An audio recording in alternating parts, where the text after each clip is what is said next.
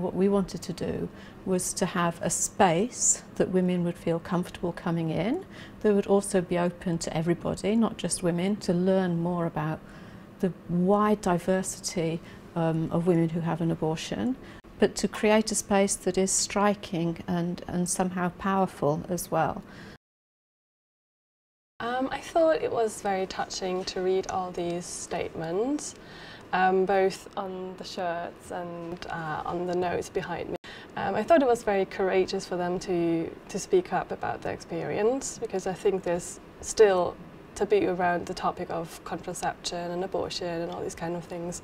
So I think it's a really good idea to have an exhibition like this. It's getting people's stories out and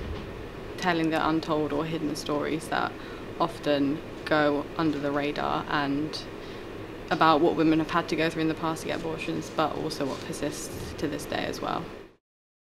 You know, we really welcome anybody who, who will walk in the door, whether or not they just were curious and passing by and thought, oh, this might be interesting, or whether or not they've been affected personally by an abortion at any time, then, you know, every, anybody and everybody is very welcome to come in and have a look around. So it's clearly not just about young women, and we do hear that women are actually revealing for the first time that they have had an abortion. In those stories, women talk about how seeing this exhibition and understanding how common abortion is, how many women have to face this decision, um, has made them feel not quite so alone and has made them feel more powerful.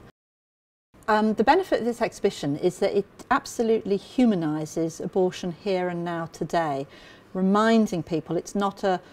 an issue that's gone away, it's not solved, there's still controversy, we haven't legalised it as far as we should, and it's composed of many, many individual women making individual personal choices. It's fantastic.